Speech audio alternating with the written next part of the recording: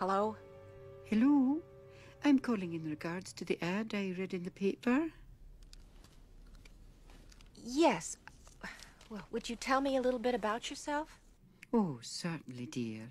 For the past fifteen years, I have worked for the Smythe family of Elborn, England.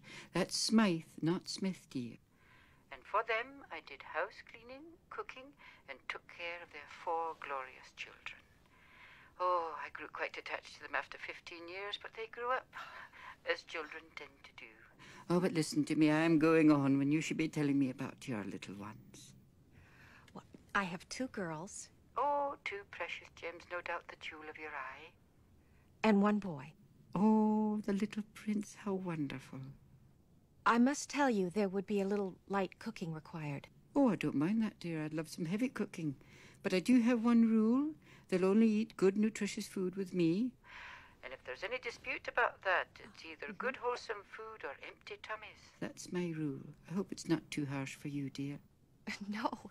Um, would you mind coming on an interview, say Monday night at 7:30?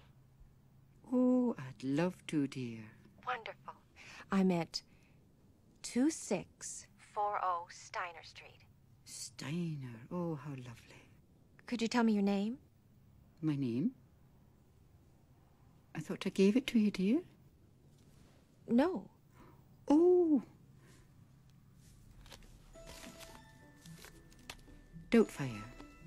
I beg your pardon? Doubtfire, dear? Mrs. Doubtfire.